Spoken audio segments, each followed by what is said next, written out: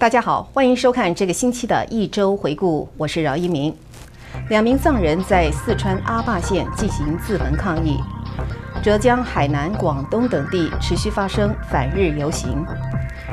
日本驻华大使丹羽与一郎坐车遭到袭击。深圳宝安区日资企业发生大规模工潮。陕西洛南县三药镇家庭教会遭到公安冲击。